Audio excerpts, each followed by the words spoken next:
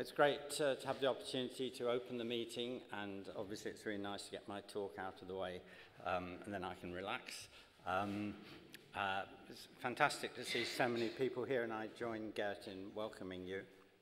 Uh, my role really is to, to set the scene in some sense, and, and as I was preparing this, I realized how many of the themes of some of the later presentations are sort of touched on uh, in passing, and I won't be explicit about, about those links, but uh, you'll see as we go through the meeting, uh, many of these ideas will come up again.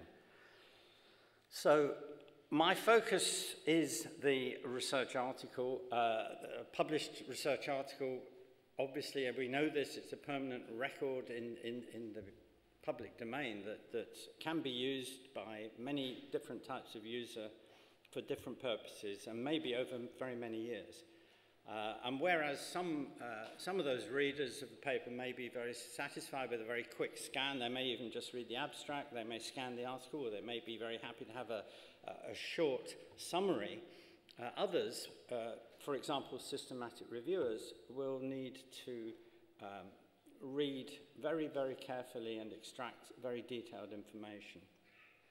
And it's a challenge uh, for a single article to meet all of those needs. And, and by and large, I think perhaps many of our problems are, are that articles fall somewhere between the, the needs of those two extremes. And they, they're probably too long for one group and too short for the other group.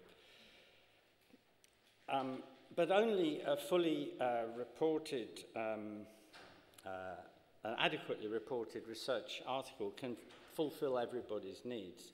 Um, and, and the challenge really is, is how, how we, we meet those needs. And as I shall say, and, and I'm sure you know, currently uh, much of the research literature isn't um, adequate. Um, but one way we can go forward, and, and it's, it's incredibly easy these days, is, is using online, um, uh, I don't, no, I don't have a pointer, but online uh, web appendices to include a lot of uh, technical information that most of the readers don't want, but which absolutely should be in the public uh, domain for, for, as part of the publication record. Now, we tend to think of research articles as the end product of a process. one conducts, a, well, designs a piece of research, one carries it out, and then one publishes it. And, and that is uh, the primary research article. But in fact, the research article is also the raw material for, for various other processes. Um, most obviously, uh, for systematic reviewers that will take these primary articles and bring them together, but also uh, other researchers are going to be influenced by what's been published, uh, and, and the research will also feed into um, health policy and clinical practice guidelines. So it's important not to see publication as the end, uh, but actually it is it's really important that the publications have enough information uh, to allow these other things to happen as well. And uh, we'll see that doesn't work very well. So um, I put here that the manuscript should present sufficient information uh, for readers to evaluate for themselves, reach their own conclusions about reliability and relevance. Uh, they need to know exactly what was done, whoever they are. So the goal here is transparency. If there's one word which, which perhaps underpins the whole work of Equator, it's the word transparency. Um, uh, articles should not mislead. They should be an honest account of what was done and what was found. They should, in principle, allow replication. I think as a, as a working concept, the, the, the idea should be that the method should be given in enough detail that someone else could repeat that study. Um, and the data, the results, not just the results actually, but the methodology and the results should be given in enough detail that systematic reviewers can understand what was done and make use of those results in, in a, a meta-analysis if they so wish. I won't go through everything here, but there, one can come up with a taxonomy of, of poor reporting practices. Uh, top of my list here is non-reporting, um, often called publication bias, but the publication bias is the consequence. It's non-reporting of research findings or perhaps delayed reporting, which is bad. Uh, there is misrepresentation of a study as something which it isn't, and we've just seen an example where, where That was done by uh, second-hand misrepresentation, if you like. Selective reporting, I think, arguably the biggest problem in the medical literature, but it's very hard to, to, to get a handle on that. Uh, the area where people have done research is on, on selective presentation of patient outcomes in clinical trials, but there's also quite clearly a lot of selective reporting of statistical analyses uh, and only selection uh, on the basis of results. What I'm going to focus on primarily uh, is the incomplete publication, missing information, missing methods, missing results, poor, poor presentation, if you like. Uh, for example, data cannot be included in, in a meta-analysis. But we also have problems of misleading, misleading interpretation, and increasingly the studies are showing inconsistency between different sources, between protocols, registry information, and publications. So you don't know which is correct, if either when you compare two records that disagree with each other. So in simple terms, you have non-reporting, selective reporting, and poor reporting. And all of these have been shown empirically to be very common. We don't really need more evidence. Well, we probably do, but, but you know, we know that these things happen. And, and the issue really is how do we reduce these problems? Um, so failure to publish is the only slide I have on failure to publish. I'll then to move on. Um, but basically, if people don't publish results, as a minimum, we have a reduced evidence base and more uncertainty. But the big concern here is that the failure to publish is related to the results and, and that, that it's the exciting, statistically significant results which are preferentially published. And we, we know that happens. There's a lot of evidence of that as well. So we, what we end up with is, is a, a diminished evidence base and, and bias as well, avoidable imprecision and, and unnecessary uncertainty, and in fact possibly misleading uh, other research because we've only seen a small part of what's on offer so, or what should be available. In terms of poor reporting, there, there are hundreds. There's, there's a considerable uh, amount of evidence, hundreds of review articles. I see one review of published trials roughly per week, one new review, uh, telling me that reporting of trials is not good. I knew that, but, you know, and, and journals are very happy to publish these ad nauseam, but nothing is changing, and that's, you know, what we need to try to do something about. Thank you. Um, so when we read articles, we want to know how that research was done, and often we can't. And just to say, this isn't a problem of any one part of the medical literature. It, it's not specific to trials, although those have been studied most, uh, in most depth. Uh, it's not specific to studies of medicines, and it's certainly not specific to commercial research. Uh, there are some variations, but basically it goes across the whole literature.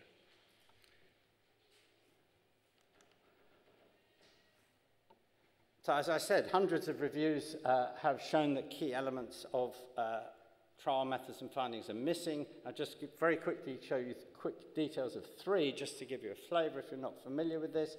This is a review of, uh, as you see, reports in oncology journals. Uh, only 11% of these articles were, were felt to give enough information about the intervention for, for other clinicians to use that intervention. That's, I believe, unacceptable. Um, wrong button. Um, this is a review of uh, quality of life in dermatology trials. Um, you know, we don't know what questionnaires were, were, were being used in almost all of the studies. Uh, missing data wasn't handled, uh, wasn't even addressed in most of these studies. And this is the thing that these authors felt was essential to have before and after data of the overall scores and the scores for each of the dimensions of quality of life, only 5% of this sample of studies uh, presented that information. And this is a very recent review of adherence to the CONSORT extension for non-pharmacological treatments.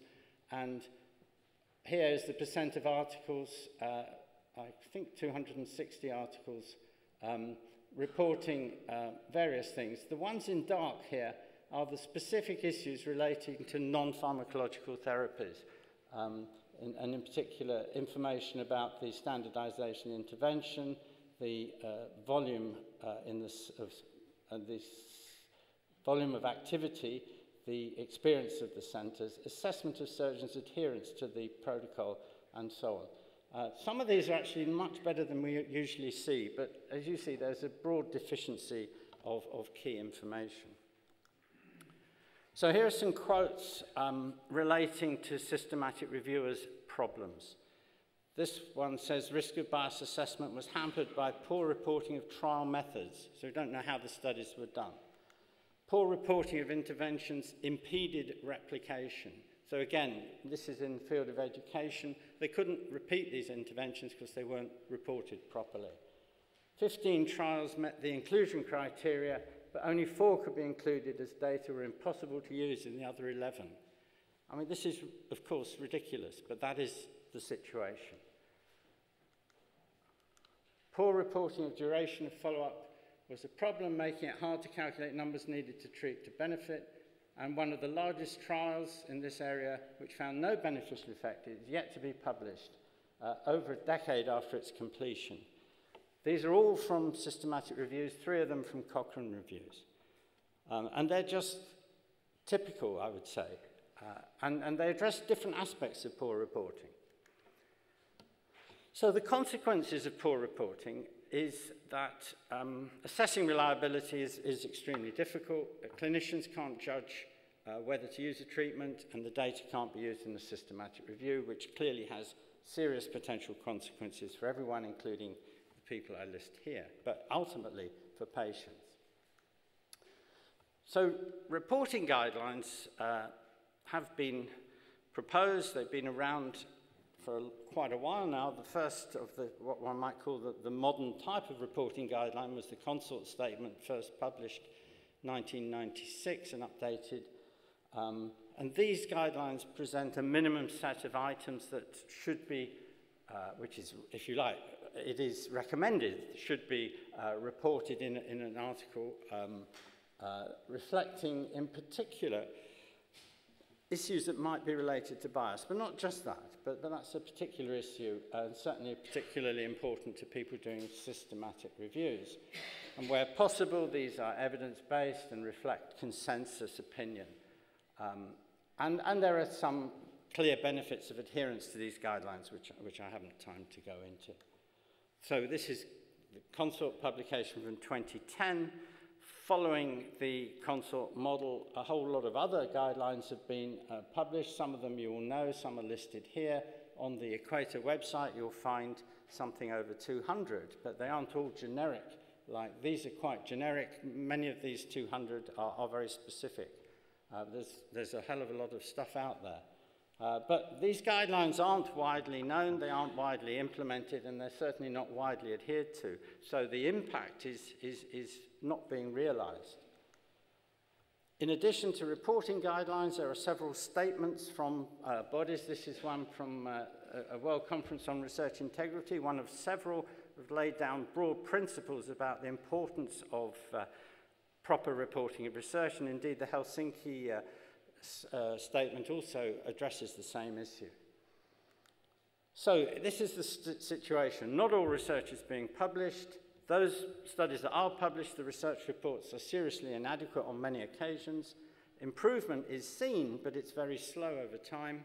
We do have reporting guidelines for most types of research and these statements about responsible research conduct, but it's much easier to continue to document the problems than actually to do something about changing people's behavior. And that is what we see.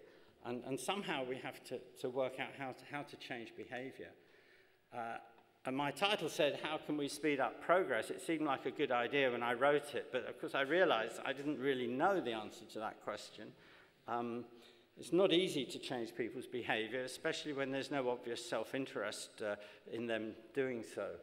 Uh, I, I think all parties should have a role. I think, as I say at the bottom here, that it's time that uh, um, major bodies, I'm talking about funders, uh, educators, uh, research organizations, should recognize that this is a problem and try to do something about it. Uh, I don't see much recognition of that, taking a broad view. I'm hoping some of the later speakers will suggest ways in which that can happen. So authors should be aware of, they, they have an ethical, moral, mor, hmm, ethical and moral responsibility to publish their findings and to do so honestly and transparently. They need to realize that they're writing the paper for readers. The, the whole point of the article is to communicate to readers, it's not to publish. That isn't the purpose. The purpose is communication. And they should recognize the needs of future systematic reviewers, and, and they can certainly help things by being aware of and following these guidelines. Editors should also be aware of the needs of readers, and, and they should make authors adhere, find some at least better than they currently do. I think they should train peer reviewers better. All the reviews I've mentioned are of peer-reviewed articles which have major deficiencies.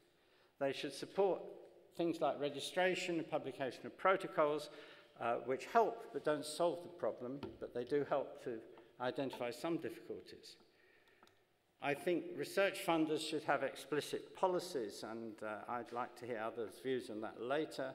Um, perhaps failure to comply with policies about publication would compromise the chances of future funding. I think ethics committees could take a similar perspective. Uh, they don't even know what's published uh, from the research which they sanction. Uh, Responsible reporting of research should be a mandatory part of training for research. It isn't, as far as I can tell. Perhaps people are taught about plagiarism, but they're not taught about all these other really important issues. And we need more research uh, into how to improve the value of research articles. Um, two studies I've seen, uh, not, you know, this is a study by Eric Cobo uh, in Spain, looking at additional peer reviews specifically uh, targeted at reporting guidelines. This was a randomized trial published in the BMJ. It found a suggestion of, of a benefit of, of this process, uh, but it wasn't definitive. A second study uh, from the Journal of Pediatric Surgery based on implementing uh, a very firm policy in 2006 and doing a before and after study showed very clear improvement in reporting when the journal implemented these policies. Uh, so it's possible to do things. Uh, the, the, there should be more research in how, how we can do things better, I believe. We want to maximize the value and uh, to obviously minimize uh, the, the loss uh, of, of all the research uh, which, is, which is done to generate new knowledge. And these research articles, as I said, are for communicating new knowledge, and they're not doing it that well at the moment. We have to recognize the multiple readerships and the multiple purposes of publication. And I would say that there are ethical, moral, scientific, and financial reasons for maximizing the value of research. And the first three of those ideas appear in the three article titles here uh, from PLOS editors, unbiased scientific records should be everyone's agenda. From David Moher, who sadly can't be with us, um, reporting research results, a moral obligation, and failure to publish results of epidemiological studies is unethical. So these are views, I think they very starkly put, put the problems, but not the solutions. This is the title of our conference, and the first part is highly relevant. I think we need to act now. Thank you.